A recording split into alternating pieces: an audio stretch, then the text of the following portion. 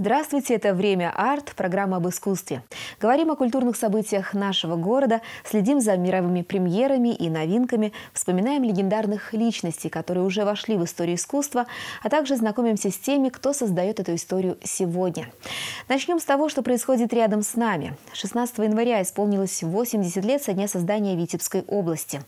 В связи с этим событием по всему региону проходят многочисленные презентации, тематические выставки, творческие конкурсы и кинопоказы рассказы. Накануне юбилейной даты в Витебском художественном музее открылась выставка «Витебщина в произведениях художников». В экспозицию вошли живописные и графические работы из музейного фонда. Всего около полсотни картин 40 художников, в которых отражен их авторский взгляд на красоту и уникальность северного края Беларуси.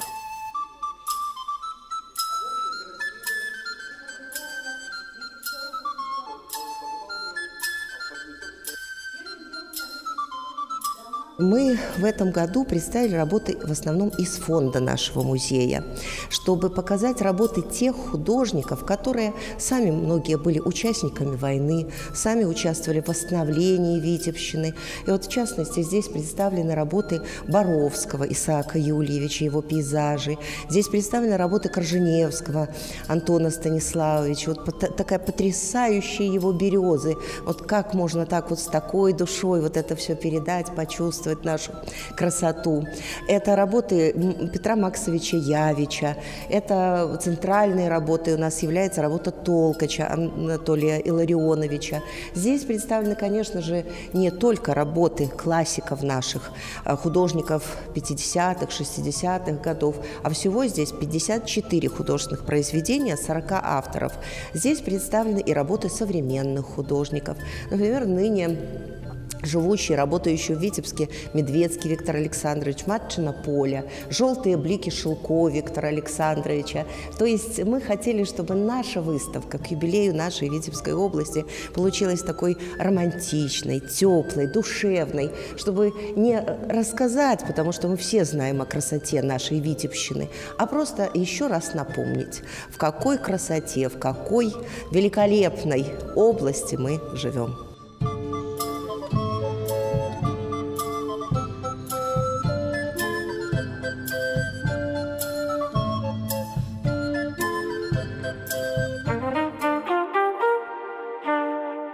Здесь же, в художественном музее, свои живописные мелодии Витебска представил известный художник Александр Филиппов. Каждая его работа – страница истории признания в любви родному городу. Витебск довоенный, Витебск современный. Многих улиц уже нет, не сохранились дома и памятники архитектуры. И только на полотнах Александра Филиппова можно окунуться в историю, побродить по старым переулкам, полюбоваться на довоенные городские пейзажи. А еще узнать про некоторые традиции, интересные факты, которые вошли в летопись древнего города.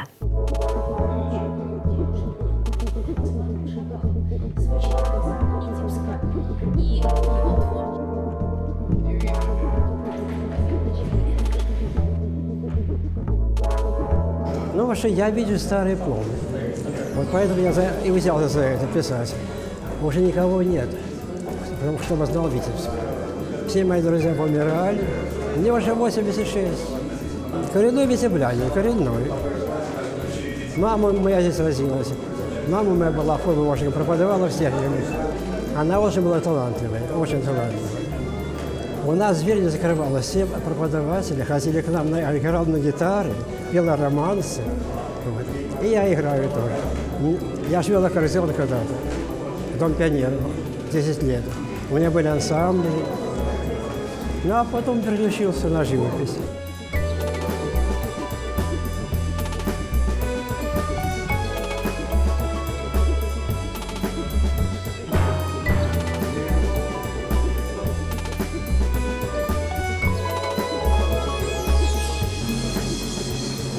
Был до войны красный такой, красный кирпич, старинный, двухэтажный. Вот. Редко это было третий этаж, редко было. И вот я спешу показать наш город довоенный, а не просто так город.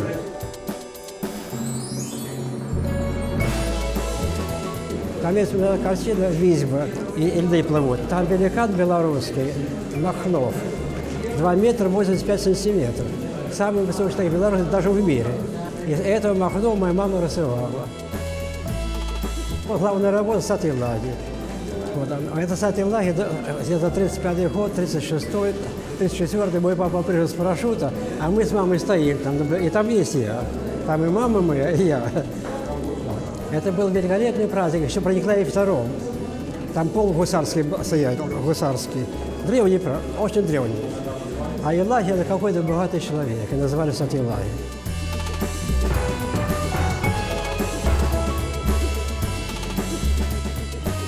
Я считаю, что это последний летописец старого Витебска, а, потому что ушло то поколение, которое было, воспитывало его в художественном училище, которые оставили, конечно, свои произведения, но я считаю, что эти работы более эмоционально напитаны, потому что э, с этим городом у него связана была личная жизнь, он вырос в нем, он впитал всю душу этого города – Поэтому они такие эмоциональные, наполненные любовью и э, грустью о том, что этого города уже нет.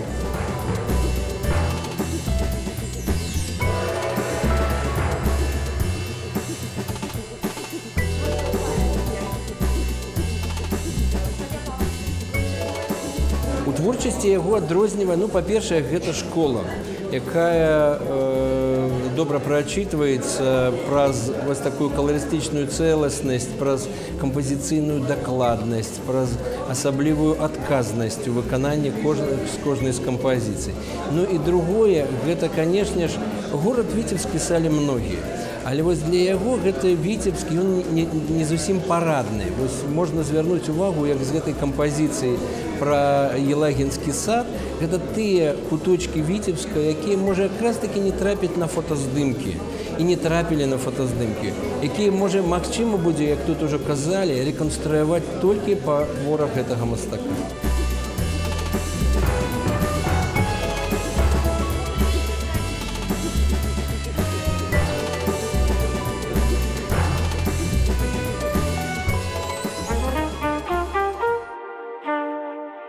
Января исполнилось 125 лет со дня рождения гениального художника, одного из ярчайших представителей парижской школы Хайма Сутина. Художник воплощал правду личных чувств с такой силой, что до сих пор потрясает людей неподдельным драматизмом. Так вышло, что его имя до недавнего времени было известно больше за рубежом, нежели на родине в Беларуси. Первую в России выставку живописи Хайма Сутина, которая сейчас проходит в Московском музее изобразительных искусств имени Пушкина, называют событием исключительным на фоне всех музейных ретроспектив и современных экспозиций последних лет. К тому же недавно на русском языке вышел в свет и роман «Биография. Последнее странствие Сутина». Его написал знаменитый биограф и переводчик Ральф Дутли. Вспомнить Хайма Сутина, побеседовать о судьбе и творчестве великого художника мы пригласили в студию председателя Витебской областной организации Белорусского союза художников Светлану Баранковскую. Сегодня она гость программы «Время арт». Здравствуйте, дорогие телезрители. Я приветствую вас, Светлана, в нашей студии. И очень рада, что сегодня будете вы моим собеседником. И мы будем говорить о творчестве и личности Хайма Сутина. Сутина, как его еще называют, потому что ну, во всем мире его знают по ударению на второй слог «сутин», на французский манер, потому что уже как э, представитель французской школы и жил во Франции, и там стал знаменит, будем так говорить. И в основном в мире знают его как Сутин, хотя многие называют и Сутин. А это як по-свойску, а, потому что когда он жил у Смиловичах, и он был Сутин. А як праехаў парыж так суцін пікаса і пікасо таксама не крыўдзі не крыўдзіліся адзін на аднаго просто кожны з іх э, і пікаса і пікасо суцін і суцін э, яны былі знаёмыя і просто пазіцыянаваліся ці як э, па месцы нараджэння ці па месцы э, адкуль атрымалі славу і просто шырокі шлях э, Таму я думаю, што на Беларусі ён лепей будзе суцін. Хорошо. Когда вы впервые узнали об этом художнике, увидели его репродукции, какое произвело впечатление вот э, на вас, увиденное? Не поверите, в 88 годзе э, потрапіўшы у э, Петербург у акадэмію мастацтваў мне хітренько так профессор глядзеў на мяне і кажа вы з віцебску а какой у вас любимый художник А Я горда ставала і казала ну калі вы хочаце пачуць ад мяне шагал дык вы не пачуеце у мяне любімы художнік іншы і ў яго было такое здзіўленне гэта з віцебскую не любіць шагала.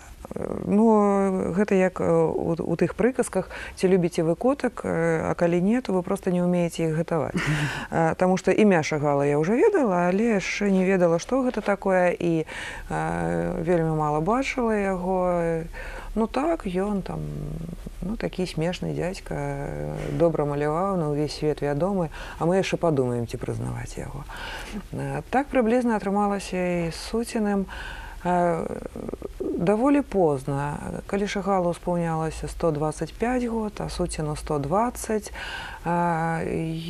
не потрапілася былі перадачы былі нейкія рэпрадукцыі ну і таксама да і вось гэта супрацьстаяння шчасця шагала і няшчасця шлімазла суціна э, яны былі ну настолькі відавочныя і гэтыя карцінкі таксама такі сумны нейкі гэтае мяса гэтая кроў ну якая жанчына любіць гэтае мяса і гэтую кроў а, і так ну, здаецца ну хай увесь свет любіць а мы ўжо неяк і без яго перажывем тым больш ён не віцебскі і дзякуй богу можна пра яго ўжо і не думаць Але калі газпромбанк пачаў вось разварочваць гэтую праграму павяртання мастакоў парыжскай школы, так атрымалася, што вось проста чапляешся вокам да? і, і зусім недавно. Вось тут во ўжо ўзімку у пушкінскім музеі ў Маскве раптам едучы на клімта на шылі едучы на сяонгацяна праходзім праз зал і тое што называлі просто удар павачох мы пяць разоў вярталіся ў гэты зал мы пять разоў спрабавалі фатаграфаваць разумеючы што ўсё роўна ніводзін гаджет ніводная рэпрадукцыя не перадаць таго што мы ўбачылі. Я разумею што калі павесіць зараз э, просто ўсіх геніяў усяго свету ў жывапісе ўсіх часоў народаў і павесіць аднаго маленькага суціна і ўсе будуць спыняцца побач з ім Таму што гэта той колер які насамрэч трэба бачыць яго калі ён экспрэсія энергетика видимо еще ну па-першае так па-першае ён гэта энергетыка яна яна яна дарэчы яна не такая і грубая экспрэсіўная не экспрэсіўная ў сэнсе што яна шапляе яна, яна не просто шапляе нахапае тебя за падол і цягне да сябе і все это не можаш адарвацца ты адыходзіш а яна ўсё роўна неяк э прымушае вярнуцца. І гэта можа быць толькі ў сапраўдным жывапісе і толькі ў арыгінале, Таму што ў гэтага чалавека насамрэч гэты геній такога плана, якіх здаецца мала ў гэтым свеце. Ну, не случайно его там многие же называли, вот, ну, Коровин, кто-то, что это э, один из пяти гениальных художников мира. Еще, ну, когда там... Коровин. Да, да. То есть, потому что э, его-то признавали его современники и при жизни. То есть Модельяне, его близкий друг, отворачивались многие от Сутина. А Модельяне в нем же сразу разглядел и все время ему твердил, ты гений, ты гений. И это помогало ему эту веру укреплять.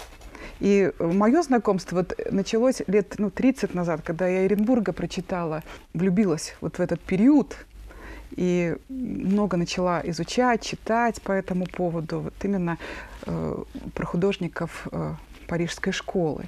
И вот я, готовясь к нашей передаче, вот как раз вот э, немножко такую цитату нашла из Оренбурга, что, как он описывает его, «Мне видится Сутин фигурой загадочной, демонической. Это не Левитан с его осенней грустью, не передвижники с их назойливым реализмом. Сутин — это гроза, стихия, ураган. Это новый тип художника, который срывает кожу с предметов, выворачивает наружу не всегда приглядное человеческое нутро. То есть это нерв. Вот, вот мне кажется, вот, вот, вот нерв. Вот я смотрю, вот у меня действительно какой-то вот э, ну, такое возбуждение приходит, глядя на его э, полотна. Да, я понимаю, что там, наверное, голову снесло, если бы видела натуральную, как говорится, величину его произведения. И могу представить, какой вы испытали потрясение и шок, видя его настоящее произведение. Ну, але я хочу сказать, что это не просто нерв, а, і те ж самае патрясенне таксама бываюць розныя, таму што ягоныя партрэты яны здаецца скажоныя, нейкай перакручаныя. Але там там сапраўдная любоў да мадэлі, любоў да жыцця. І калі кажуць, што вось шагал гэта любоў, а суцін гэта трагедыя. Я не магу з гэтым згадзіцца, таму што яны абодва любоў. просто гэта розная любоў.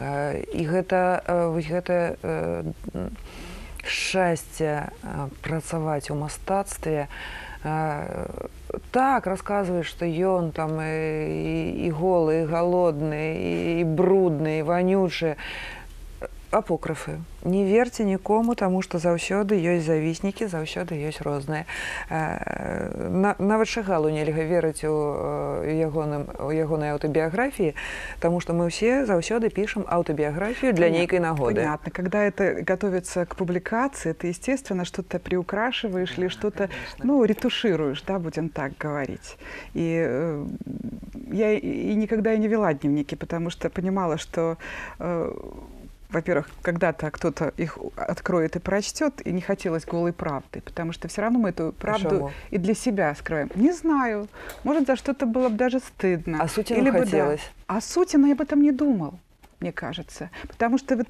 и все его современники говорят о том, что ему вообще было все равно, что о нем говорят, как, э, как он выглядит, как он дурно пахнет. И, и описывают многие об этом, что действительно он хотел голодный, э, э, стучался в двери, просил есть, а потом пока эту селедку не нарисует или э, а, а голый, потому что один этот какой-то камзол был, и чтобы его не испачкать в краску, поэтому и голый, потому что все время нищий был до определенного момента. А не выпробование это самого себе на тему сысці до самого низу, самого себе прымусіць побираться, быть человеком не просто дна, а дна на дне –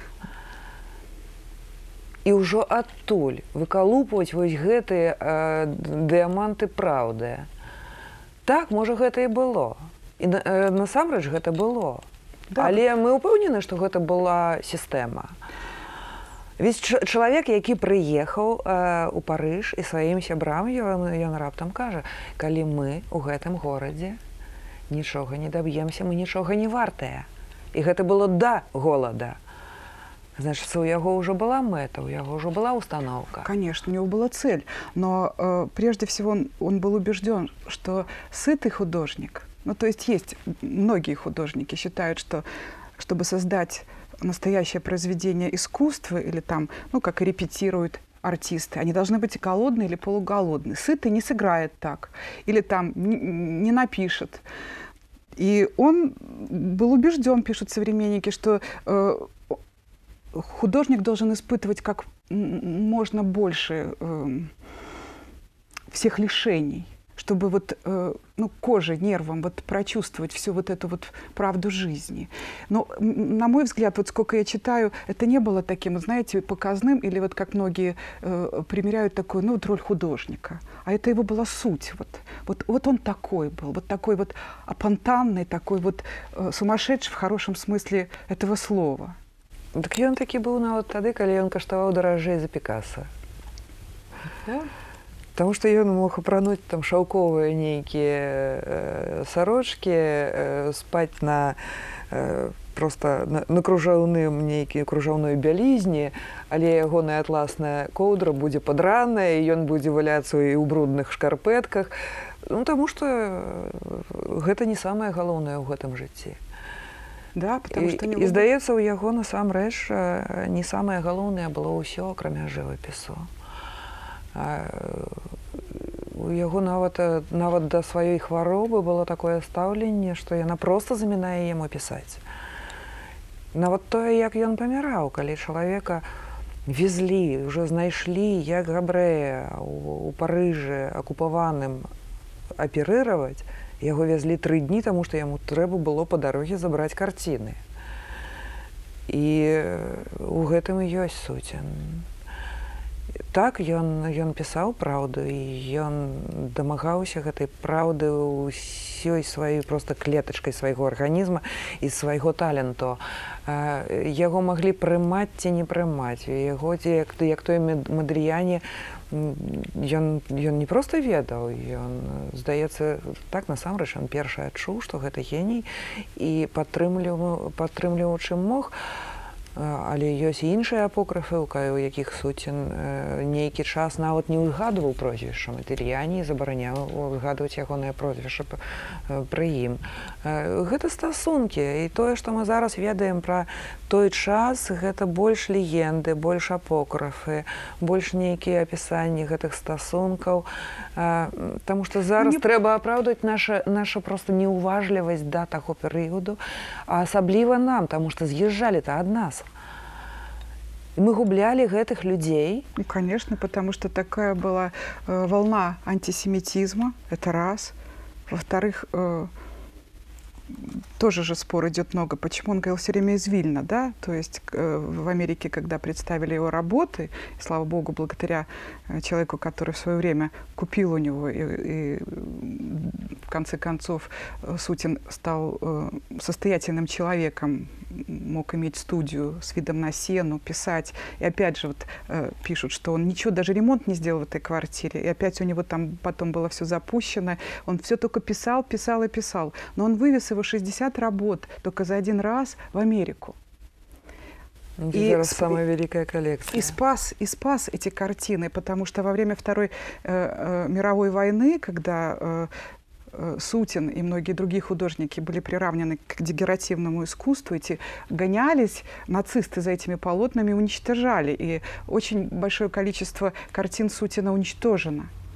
И ну, был... самое большее э, уничтожил сам сам.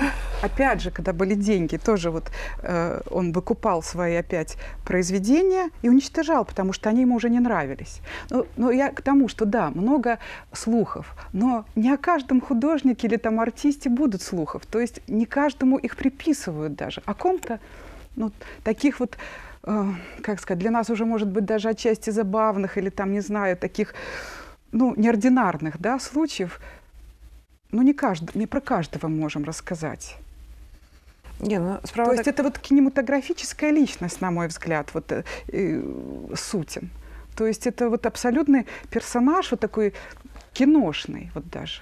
А его манера, это, которая, говорит, вот э, только как окошко было свойственно, он же только углем иногда там что-то, э, рисунок намечал. А так в основном обратной стороной кисточки, делал такие нажимы на бумаге на, или пальцем, ногтем, да, то есть и потом рисовал. Ну, кто наблюдал, говорит, это был ну, действительно ну, ты... настоящий перформанс. Его вот этот акт такого саіце з холстом да да да і до 20 пензляў у руцэ калі ўжо адзін пензель ужо быў адной фарбе то ў другую ён ужо не макаецца і, і вось гэтай шасціня свету э, э, колеру можа яшчэ я адсюль ідзе і вось гэтае святло можа якраз ідзе вось ад чыстай фарбы але гэта так гэта адносіны да э, гэта гэтаму нават не немагчыма навучыць і не придумаць і захочаш вот э, інсцэніраваць не получится Ну гэта можа яшчэ просто... адметны почерк. Чаму у нас мастакі дагэтуль не, не вельмі любяць калі да іх заходзіць у майстэрню? Паказаць свае творы так але ў майстэрні дапушаюць не кожнага таксама як і суцін не дапушаў. Таксама не кожнага ён пашоў у сваю майстэрню. Гэта трэба было прайсці не ведаю які адбор каб нехта паглядзеў як ён малюе. Як ён за працай я нават і не ўзгадаю каб нехта не Э, так дакладна быў і глядзеў як ён можа працаваць. Нехта з ягоных жанчын можа бачыў але гэта так атрымалася падглядзець атрымалася. Э, а так і таксама у нас дакладнага няма як ён рабіў гэта ўсё. Гэта чараўніцтва. І гэта чараўніцтва і ёсць мастацтва.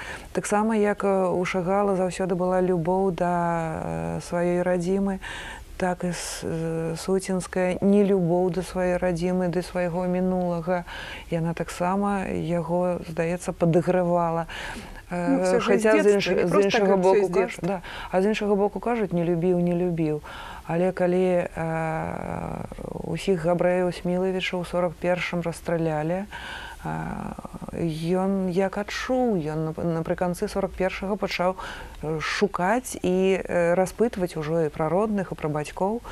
Адзінае што ўжо было запозна Но он э, представлялся все время, что из Вильна, потому что не знали э, во Франции, где там такая Беларусь. И, А хто зараз ведае дзе такая и Беларусь я сама была в Англии, то есть моя подруга, я говорю, ну скажи ты, что я из России. Там, нет, из Беларуси. А надо было долго объяснять, где это находится. Это даже вот сейчас. А тогда где те Смиловичи? Кто это мог знать? И он Вильно, Вильно, Вильно знали все. А он говорит, ты вообще плохо по-русски ты говорил, на идиш, его родной язык идиш.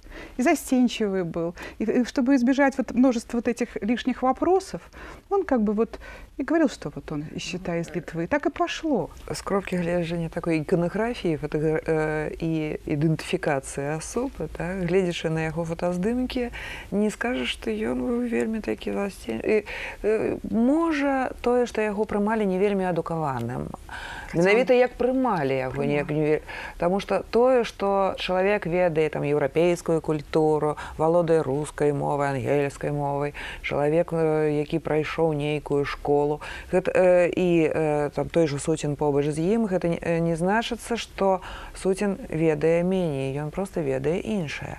Но он У гэта культура ідыш это культура гэта э, тое што ўвайшло просто з малаком тое што ўвайшло з кроўю генетычна э, тое што ён э, вельмі добра ведаў э, усю габрэйскую культуру рэлігію. Без гэтага просто немагчыма. Гэта мы неадукаваныя з кропкі гледжання суціна Таму што мы гэтага не ведаем.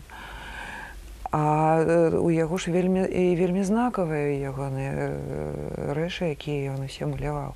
Таму што і гэтыя дзе- дзіцячыя партрэты і, і нават вось гэтыя страшныя тушы ведаць, я, я калі бачыла іх на рэпрадукцыях просто жах абдымаў, што гэта такое. А калі э, бачыш іх э, па-сапраўднаму, Ну, адзінае, што так э, просто да мёртвага цела складана, але яны дыхаюць, яны жывыя, яны блішаць. Такое адчуванне, што вось яны толькі учора бегалі. Якое учора яны бегалі 5 хвілінаў таму. І ён, ён нейкім чынам гэта зрабіў. Но вот понимаете, вот э, не просто так, вот и его коллеги, вот тезка Сутина Хаим Яков Липшиц, скульптор, недоумевал, слушай, Сутин, насмотревшись на твою живопись, я могу лепить след за тобой. С помощью объемов в пространстве я черпаю свет. Станковая скульптура, как и настоящая живопись, вполне автономна в природе и параллельно ей. Они необходимы человеку, как солнце. То есть э, у него, э, говорят, не натюрморт был, не мертвая натура, а имела объем, и свои, э, он же поливал это кровью. То есть это, когда писал, говорит, вот эти, да, да, бычьей кровью поливал, А, чтобы, да-да-да, да, как чтобы блестело, да. да. И э, мы еще вот не сказали, что Рембрандт, это же был его эталон, то есть он в нем такой перевернул его мировоззренческий взгляд на живопись, и он учился по Рембрандту и пытался копировать его еврейскую невесту, но, говорят, э, хотя он и учился у старых мастеров, но как копиист он, ну, был неуспешен и не мог, потому что его сущность, его натура, она не давала ему.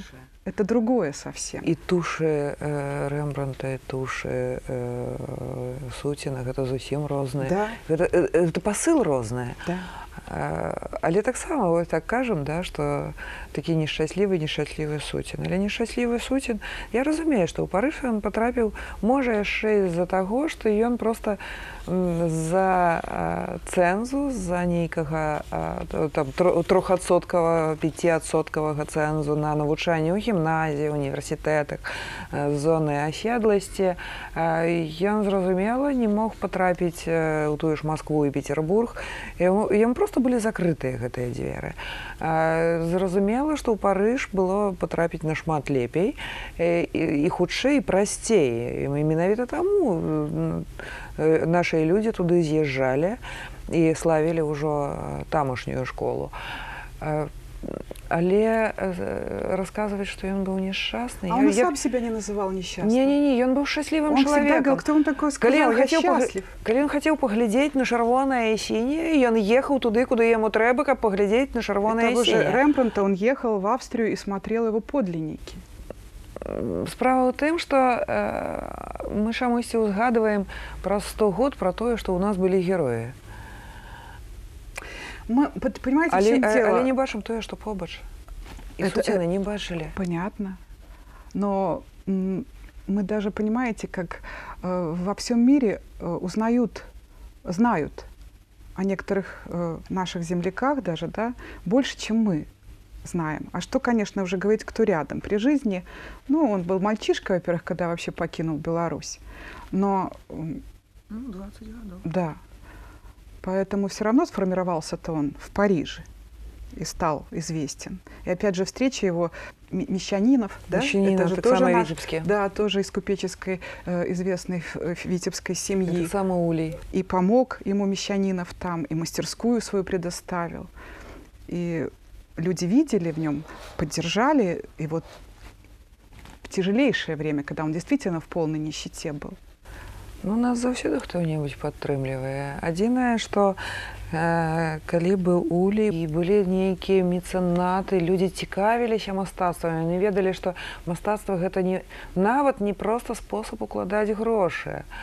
А э, мастацтва было цікавым можа яшчэ з-за таго, што была адукацыя адукаваныя людзі зарабіўшы грошы пачынаюць укладацца ў мастацтва таму што ведаюць што толькі следам за мастацтвам можа пайсці філасофія за філасофіяй усе астатнія навукі і будзе прагрэс а у нас атрымоўваецца што мастацтва гэта не нейкае нават не балаўство ну колькі той жа суцін па апокрыфах атрымліваю яго не проста збівалі а па-чорнаму збівалі толькі за тое што гэта шлемазл меў права не займацца гаспадаркай не, не дапамагаць а нешта чырыкаў на сваіх паперках. Да яшчэ заразу купляў э, алоўкі э, за бацькавы грошы. Ну гэта і, і дагэтуль у нас стаўленне такое. Мастаку на даставляе задавальненне займацца вось гэтай фігнёй.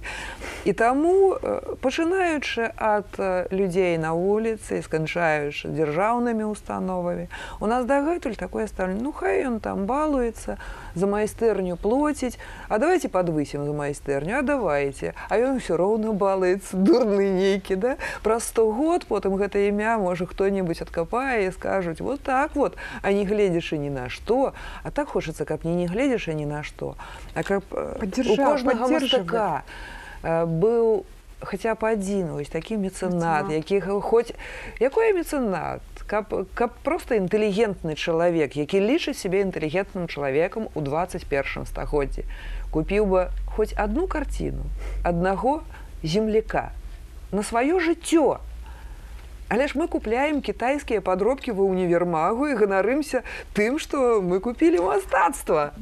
А Але кто знает потом, яшчэ аднаго мастака. А кто знает потом, сколько будет эта картина стоить? А мне в любом случае все равно больше всего волнует другой вопрос, что вот люди, которые жили тогда в такое тяжелое время, на стыке ну, двух войн мировых, да, то есть люди, которые испытали весь ужас, сколько погибло, сколько близких, сколько уничтожено, искалечено судеб, они действительно продолжали покупать произведения искусств, покупали картины, поддерживали художников, Я оставались думаю, это... людьми и людьми высокой культуры прежде всего. Почему вот сейчас это происходит, что вот вы говорите, лучше э, китайскую безделушку, чем действительно купить э, произведение своего художника, я не могу понять. Я вот могу. Объясните мне. Зараз зараз мы яшчэ ў горшай сітуацыі. У нас зараз тое, што мардашвілі называў антрапалагічнай катастрофай. Нам проста гэта не трэба. Мы у, у аснове ў сваёй мы спускаемся да ўзроўню. Па тэлевізары сказалі, купляем вось такое. Мы ўсе бяжым, купляем вось гэта. На ўзроўні э, высокатэхналагічным зноўка становімся жывёламі. Як пастух сказаў, так мы і зрабілі. І толькі мастакі, пісьменнікі, нейкія такія вось маргіналы, людзі, на якіх круцяць пальцам каля віска, яны яшчэ злёгку нас падымаюць да ўзроўню ўсё ж такі чалавечай культуры і чалавецтва. І таму чым гэта скончыцца, я не ведаю гэту катастрофу яшчэ маяковскі ў свой час ведаў, чуў і казаў пра яе. Я нават таксама тут падрыхтавалася ж да тут шакоўная штука на смерць хлебнікава. С отвращением прочитал в статье Хлебникове полное сочувствие. Когда, наконец, кончится комедия посмертных лечений, где были пишущие, когда живой Хлебников, оплеванный критикой, живым ходил по России. Бросьте, наконец, благоговение столетних юбилеев, почитание посмертных, изд... посмертными изданиями. Живым статьи, хлеб живым, бумагу живым – і ну, дзякуй Богу яны ў нас ёсць нашыя мёртвыя але яны жывыя ў сваіх карцінах дарэчы у, у мастака ёсць такая ж вельмі шыкоўная штука. У адрозненне ад усіх астатніх людзей мы пакідаем матэрыяльнае сведчанне свайго сэрца свайго светапогляду свайго адчування гэтага свету. І колькі будзе існаваць чалавецтва столькі яно будзе насычацца вось гэтай любоўю гэтым святлом гэтымі колерамі якія здавалася чым зробленыя фарба і палатно і больш нічога а еще ну, і злёгкую вар'ят мастак а еще хаем это значит жизнь и на языке библии это слово существует только во множественном числе пишет Ральф Дутли в своем романе, который вот в прошлом году появился на русском языке «Последнее странствие Сутина». Хаем не умирает, он есть во множестве. Он есть вас, есть во мне. И спасибо вам за то, что вы разделяете это множество, любите, а еще за то, что вы созидаете прекрасное, красивое, і ну, нужная очень. я думаю что вось гэта вы адносіцца да ўсіх мастакоў які да. у нас на віцевшыне які увогуле у нас на беларусі і просто да людзей якія маюць смеласць у гэтых варунках у гэтым жыцці у гэтай інфармацыйнай вайне думаць пра чалавецтва пераварваць яго нейкім чынам у сябе і выплёскаваць на палотна В вашем лице я благодарю всех художников, потому что вы председатель Витебской областной организации Белорусского союза художников. С нами была Светлана Баранковская. Спасибо за то, что вы смотрите нашу программу. Всего доброго, до новых встреч. Вторая половина XIX века была удивительно плодотворной для множества деятелей искусств. Выдающиеся писатели и художники, скульпторы и архитекторы поддерживали крепкие дружеские отношения и вместе пытались дать строгому классическому направлению в искусстве новый виток. Как раз в это время известный французский писатель Эмиль Золя, со школьной скамьи друживший с талантливым художником Полем Сезаном, решается описать времена коренных перемен в искусстве и взглядах через страстный и безжалостный труд своего друга, жизнь жизнь которого была почти полностью поглощена искусством живописи. Роман «Творчество» сегодня в рубрике «Форзац».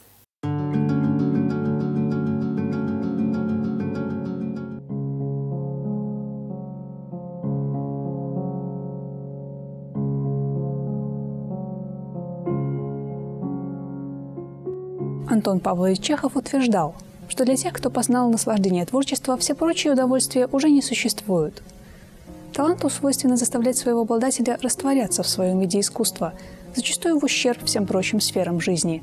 Мы же, как зрители, не видя изнанки жизни талантливых людей, искренне полагаем, что те, кто способен создать великолепную книгу или написать прекрасное полотно, самые счастливые люди на свете – Французский писатель и публицист Эмиль Золя, близкий друг многих художников-импрессионистов, скульпторов и журналистов XIX века, подарил зрителям всего мира возможность заглянуть за кулисы творческой жизни и быта художника в своем романе «Творчество», романе о жизни живописца по имени Клод Лантье, прообразом которого послужил близкий друг писателя, художник-импрессионист Поль Сезанн.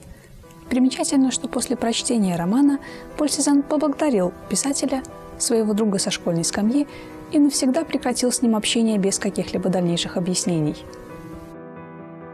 История в романе выстраивается вокруг жизни Клода Лантье, молодого, подающего надежды самобытного художника, который решается сделать вызов парижской академической живописи, мертвой в его понимании, и покорить парижские салоны и галереи своими полотнами, преисполненными цвета, полупрозрачных образов видений, необычных сюжетов и солнечных переливов.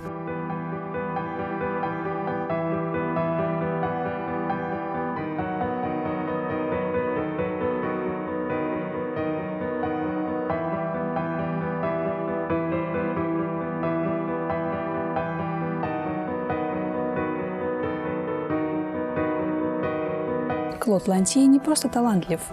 Он фанатик живописи, готовый годами работать над одной и той же картиной, бесконечно ее исправляя, угрожая все, наконец, окончательно испортить, ради того, чтобы вступить в поединок с природой и вдохнуть в плоть своих образов настоящую душу. И вся его творческая жизнь, полная мучительных поисков и работы, которая вытягивает из художника все силы, проходит в самом притягательном для всех живописцев мест – в Париже – Описание улочек, парков и самых разнообразных зданий составлены Золя настолько подробно, что все словесные картины без труда выстраиваются в воображении читателя, увлекая его в путешествия по местам, которые уже, наверное, и не существуют в том виде, в котором они пристали перед глазами молодого художника. Обстановка позволяла Клоду Лантье находить образы для своих картин. Однако, сколь бы оригинальными и мастерски написанными они ни были, таланта для покорения парижских галерей окажется недостаточно – в сердце Парижа, как в придворном обществе, господствует свояченчество и потакание безопасной, привычной академической живописи с ее стандартными штампованными приемами и сюжетами.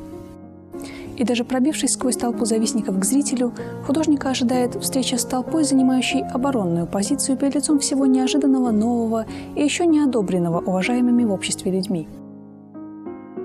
Роман Эмиля Золя «Творчество» дарит читателям всего мира шанс не просто посмотреть, чем живут талантливые люди – Читатель проживет вместе с Клодом Лантье всю его жизнь, будет незримо присутствовать рядом с Мольбертом, пока художник с яростью и постом вновь и вновь переделывает недостаточно живые, по его мнению, образы на своих картинах. Вместе с художником читателю предстоит испытать муки почти бесцельного труда, насмешки судьбы, подарившей художнику революционное для своего времени видение прекрасного, но не позаботившийся о том, чтобы у него была возможность выразить свою задумку на холсте в точности так, как он ее видит. Творческий талант затмит и сотрет все на своем пути. Дружбу, крепкое здоровье, семью, любовь и даже душевное спокойствие. Талант захватит своего обладателя настолько, что сама жизнь вне искусства прекратится. Сама природа отступит и будет лишь дразнить художника яркостью и живостью образов, созданных ею вовсе без усилий.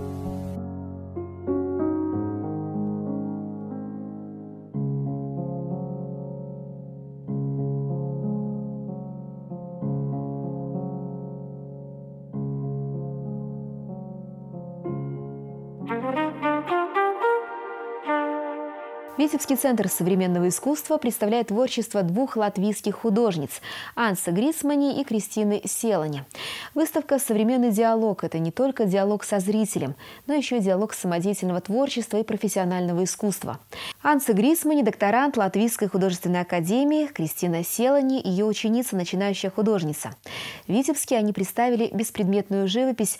Некоторые работы выполнены в смешанной технике, в том числе и авторской. А еще это попытка объединить объединить живопись с музыкой и создать еще один своеобразный диалог.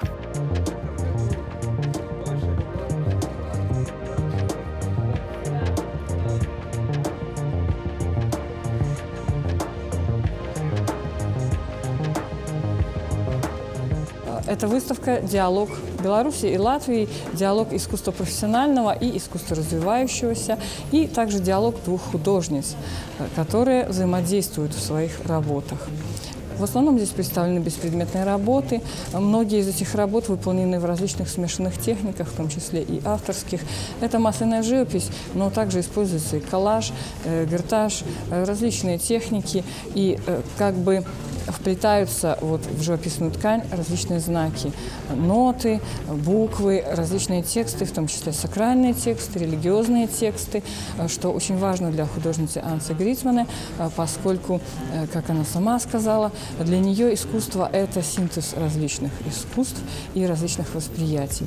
Кристина Селане является э, самодеятельной художницей, но, однако, не просто э, творит по наитию инситное искусство, а она именно развивается, она проходит многочисленные мастер-классы, многочисленные воркшопы, и в том числе она училась у Ансы Грицманы, э, который является в данный момент докторантом Латвийской академии художеств. И таким образом вот этот прогресс, который совершают обе художницы, он взаимный, и это тоже диалог.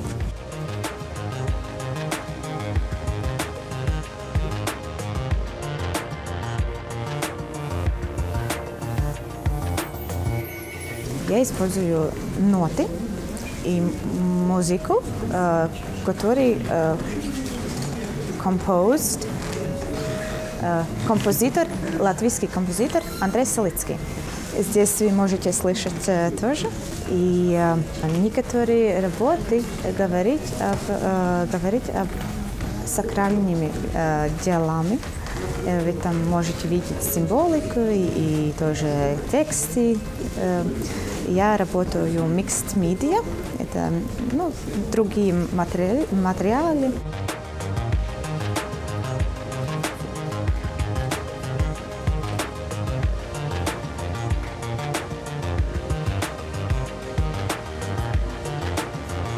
Есть еще такая интересная штучка, как синестезия. Может быть, вы слышали. У меня есть подруга, которая видит э, не только цвет, но вспышки. Это такой феномен от головы.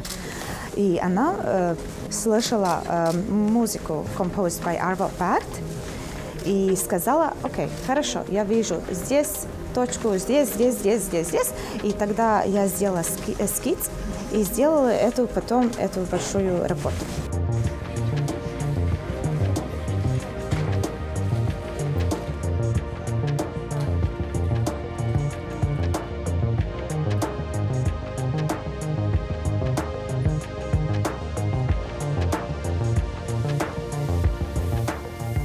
Это только показывает, что в Латвии есть довольно обширные, обширные такие традиции по искусству.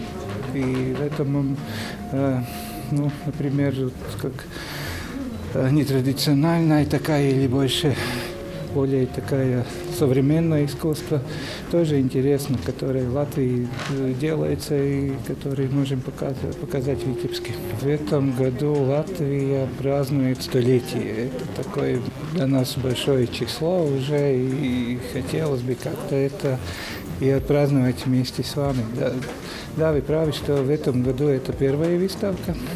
А завтра в Полоцке открывается выставка текстиля. На данный момент э, программа уже намечается в этом году довольно обширная. Будет э, и, и выставки запланированы, и надеюсь, что удастся нам какой-то хороший концерт провести.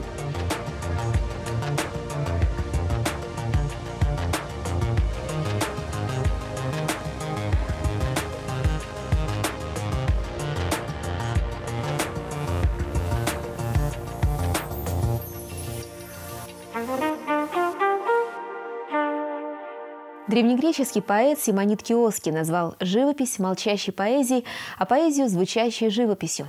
Каждое произведение, будь то картины или стихотворение, эмоциональное отражение его автора. А чтобы это произведение понять, необходимо всмотреться и вдуматься.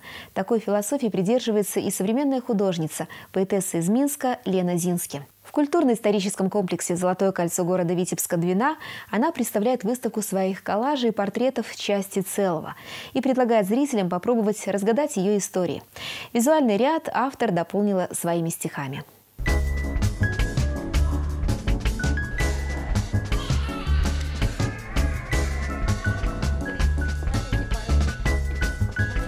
Я себя считаю априори, априори поэтом. Поэзией у меня любовь с самого-самого рождения, и э, поэтому э, рисовать я начала позже. Хотя в детстве я очень увлекалась рисованием, но вот рисовать, как рисовать, я начала куда позже. Поэтому э, представлять только картины без стихов мне бы не хотелось. Мне хотелось этого симбиоза, причем зачастую они э, никогда не являются э, иллюстрациями к моему стихотворению какому-то, но они вполне дополняют друг друга. И, может быть, для того, чтобы даже понять смысл всей экспозиции, э, можно прочитать не только вот визуальный ряд, еще и, э, а еще и стихотворный, который предложен.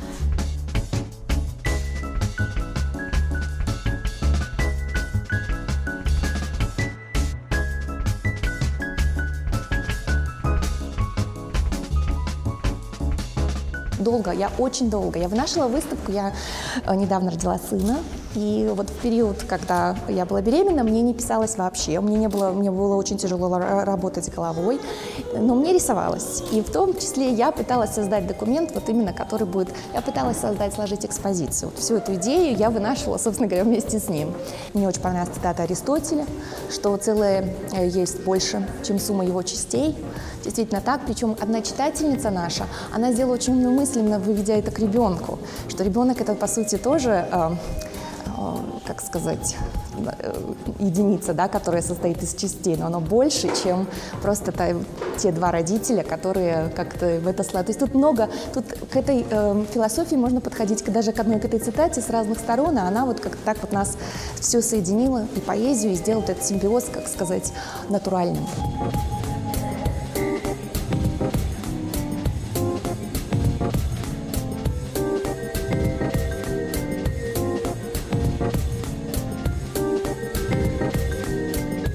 Я очень э, э, люблю художественное творчество Марка Шагала. Витебск поэтому был особенным местом в Беларуси, и как бы это ни звучало, потому что это действительно, знаете, как говорят, есть гений места. Вот если, если о Витебске, то это, наверное, он и является этим гением. Как бы это ни звучало, мне хотелось отдать какую-то дань. Я была на могиле, на могиле у Шагала во Франции совершенно недавно. И вот мне, когда как раз вот, мне хотелось что-то добавить, чтобы было... И так как полет, и мне хотелось полета, вот поэтому серия коллажей, которая называется «Сны Марка», в которых он летает у нас с снов 6, и еще у нас есть как бы не часть серии, но седьмой сон, он, собственно, за мной. Складывать из этого каждый может что-то свое собственное, для меня это, для меня это сны Марка.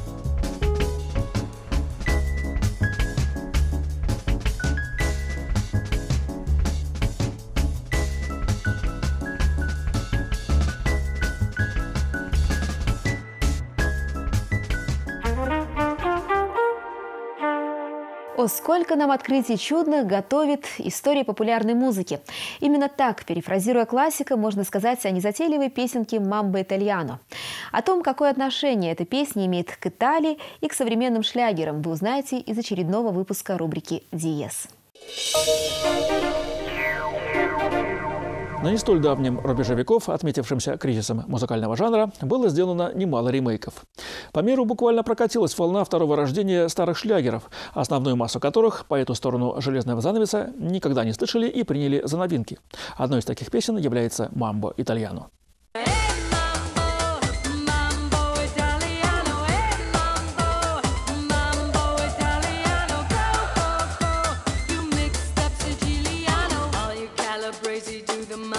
На первый взгляд история песни весьма запутанная. Ее автором считается американец Боб Мэрил, тогда как другие источники называют итальянца Рената Корасоне. Однако тут все просто. В 50-е годы минувшего столетия Карасоне был весьма популярен у себя на родине. Он стал автором одного из первых итальянских рок-н-роллов под названием «Туофа аль американо». Эта песня была написана исключительно с целью потроллить юных итальянцев, которых захватила мода на все американское. Ты носишь штаны с гербом на заднице, кепку с приподнятым козырьком. Ты хочешь выглядеть американцем. Ты танцуешь рок-н-ролл, играешь в бейсбол, но деньги на Кэмел тебе дает мамашина сумочка. Tu a ballo rock and roll, tu gioca a baseball, fai sorte per camel, chi te ridà la borsetta di mamma, tuo fa l'americano, americano, americano, ma si nati in Italia, sienta a me non c'è sta niente fa, ok napolitan, tuo fa l'american, tuo fa l'american, tuo fa l'american, tuo fa l'american. Осенью 54-го начинающий поэт и музыкант Боб Мэрил прогуливался по Нью-Йорку, зашел в итальянский ресторанчик, где и услыхал эту песню. У него возникла мысль не то чтобы отомстить итальянцам, а сделать такую же пародию. Первое, что осенило Боба – название – итальянское мамбо. Словосочетание звучало так же нелепо, как китайская лезгинка. Мэрил набросал текст прямо на салфетке, а мелодию, чтобы не забыть, напел по телефону студийному пианисту. В начале 55-го песня была представлена в исполнении Розмари Клуни, тетки известного актера Джорджа Клуни. Она сделала это столь замечательно, что «Мамбо Итальяна» попала в американский топ-10, а в Британии и вовсе вышла на первое место.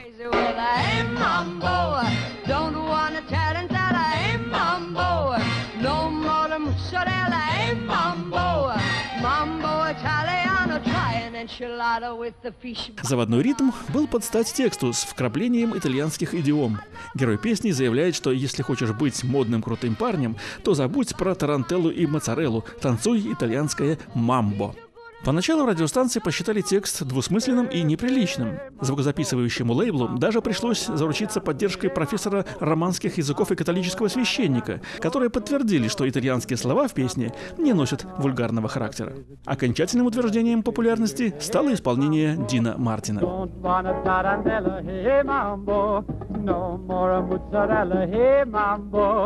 Mambo Italiano, try an enchilada with the fish of bacala an egg Но самое интересное, песня зазвучала и в Италии, в исполнении все того же Ренато Корасоне. Причем на сей раз итальянский текст наполняли английские идиомы.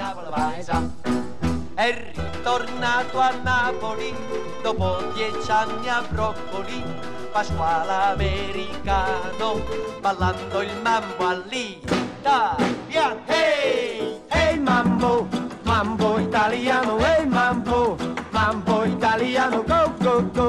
You make up Siciliano, all you calibrated to the mambo like a crazy with. Hey mambo, don't wanna tarantella, hey mambo. No more mozzarella, hey mambo, mambo italiano, try an insalata with the fish and bacala and then. Hey, I love how you dance rumba, but take some other bites, paisano. Learn how to mambo. If you're gonna be a square, you ain't gonna gonna wear. Hey, mambo, mambo italiano. С годами шлягер тускнеет. Не обошло это и мамба итальяна. Песня осела в категории ретро, а затем основательно подзабылась. Второе рождение мамбо итальяно произошло в 2000-м, когда английская группа Shaft представила современникам ее электронную версию.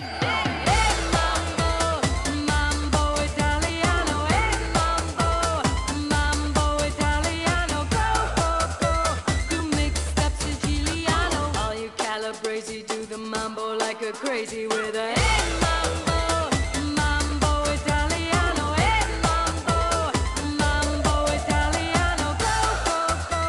You mixed up Siciliano, all you Calabrese do the mambo like a crazy.